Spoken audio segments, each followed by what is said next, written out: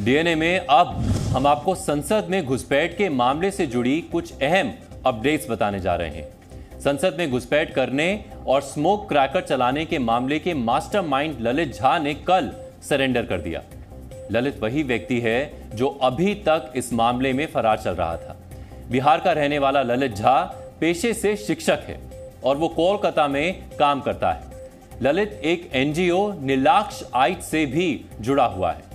ललित इस एनजीओ में general secretary है।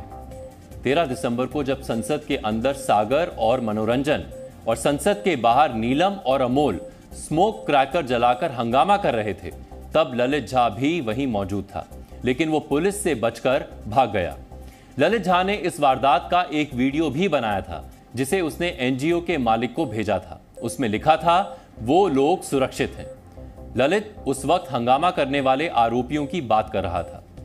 ललित झा कोलकाता के बड़ा बाज़ार इलाके में बच्चों को पढ़ाता था।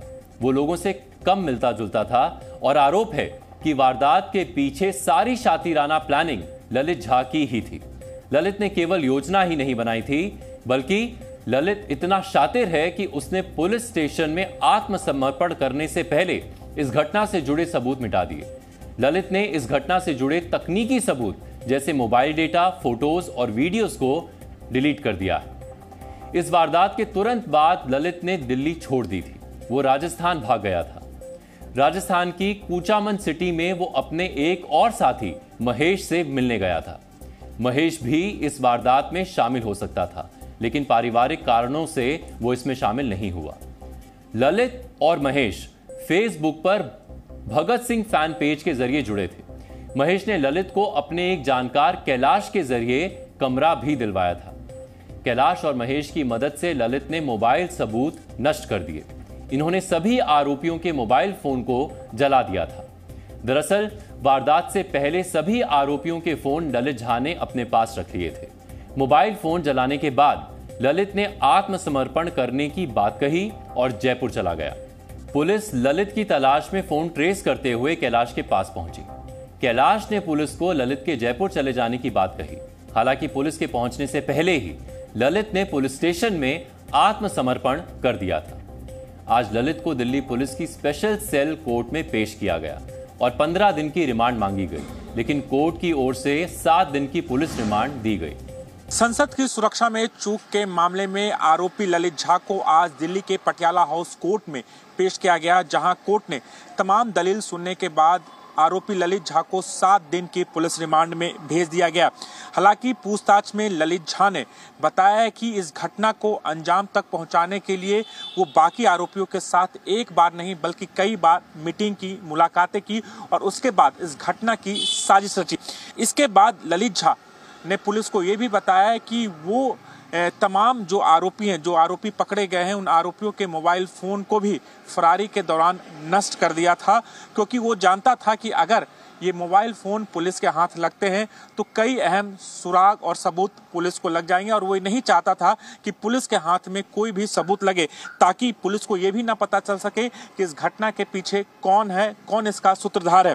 हालाँकि पुलिस ने कोर्ट में ये बताया है कि ललित झा देश में अराजकता फैलाना चाहता था, ताकि अपनी मांगों को पूरा करवाने के लिए वो सरकार पर दबाव बना सके।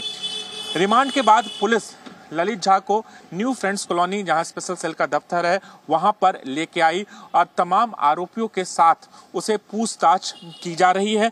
ये पाँच आरोपी ही नहीं, इसके पीछे कोई बड़ी साजिश काम कर रही थी, पुलिस को ऐसा लगता है। इसलिए पुलिस इन तमाम आरोपियों से अलग अलग बैठा भी पूछताछ कर रही है।